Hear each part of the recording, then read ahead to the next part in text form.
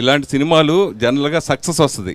Cinema ఓవరాల్గా అందరికీ success వస్తుంది అందరికీ పేరు వస్తాయి కానీ సపరేట్గా హీరోని హైలైట్ చేస్తూ హీరో ఇమేజ్ పెంచేలాగా ఏం ఉండవు. కానీ ఈ సినిమా ఎందుకు ఒప్పుకున్నారు మీరు?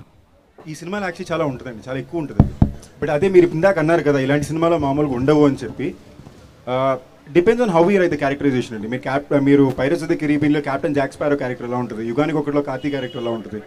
ఇట్ అండ్ మనం చేసే విధానంలో కూడా ఉంటుంది. Any actor I think takes a character forward కదా? అండ్ ఆనంద్ అని ఒక అతను ఫిల్మ్ మేకర్ కానీ one of my career best characters నాకు ఇచ్చింది టైగర్ ఇవాళ వరకు ఎవరో అడిగినా కూడా నన్ను నా ఫేవరెట్ క్యారెక్టర్ ఏంటి అంటే నేను టైగర్ అనే అంటారు సో అతని స్పెషాలిటీ అండి ఇది.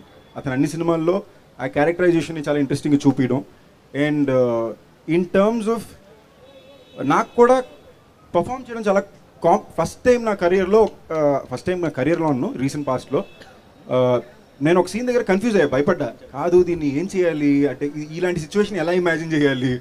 నిజ జీవితంలో ఇలాంటి సిచ్యువేషన్ రాదు కదా. ఇప్పుడు దీన్ని నేను ఇమోషనల్గా డ్రైవ్ చేయాలంటే ఎలా చేయాలి?